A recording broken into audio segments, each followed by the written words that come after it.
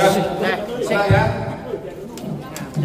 Ini adalah saudara ATG yang kemarin kita tangkap.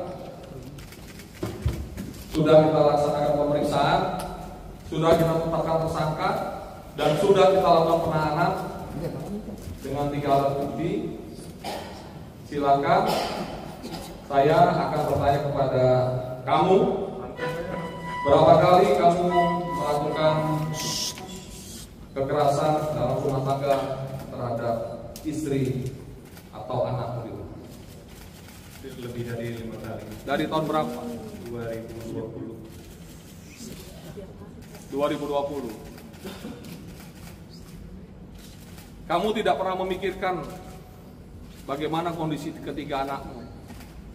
iya Kenapa kamu tidak pernah memikirkan sebagai bapak yang mempunyai tanggung jawab terhadap tiga anakmu? Iya eh, saya tidak akan melakukan pembelaan apa pun.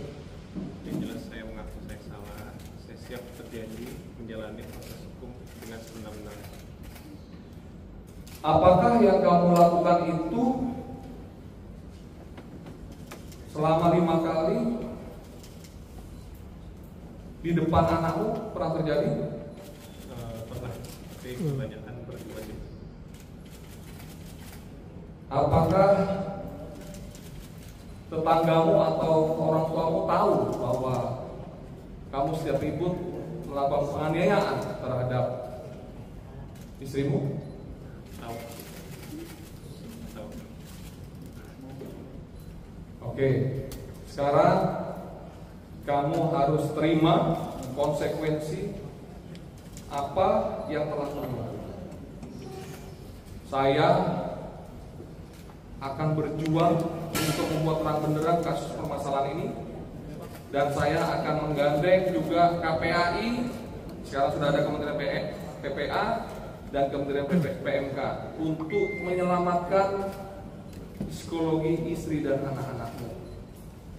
Kalau kamu tidak mau bertanggung jawab terhadap anak-anakmu, maka beliau-beliaulah bersama saya akan bersama-sama membesarkan anak-anak.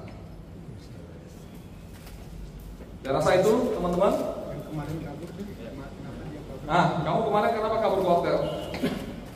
iya memang kan saya ada sedikit kerjaan juga pak di Jakarta. Masih mikirin kerjaan gitu cuman karena memang kondisinya saya tahu saya salah ya saya memutuskan pergi memang ke hotel itu. Kamu mau kabur ke Surabaya? Eh, tidak. Enggak. tidak di Jakarta saja. Oke. Terima kasih ya, teman-teman semua.